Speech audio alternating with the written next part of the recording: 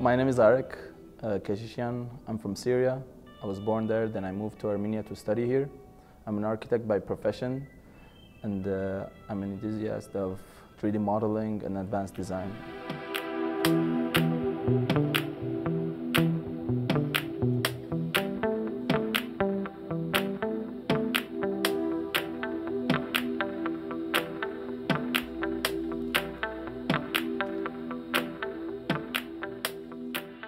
I tried to show them how to use the tools that they have with more freedom.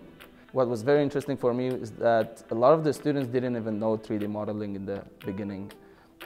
My primary goal, if I had to say it in one word, was freedom. Uh, because I realized that these kids grow up to go to universities and uh, get jobs, that there will be a lot of people uh, who will tell them what's right and what's wrong in art. First, we, we learned ZBrush, and uh, the overall uh, approach was uh, digital sculpting.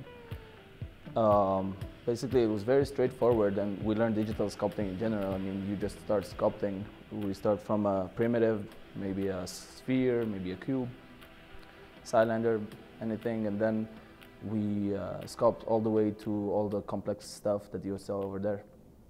Uh, expose ourselves to a lot of happy accidents, and the accident and the uh, variation that we choose makes the work ours.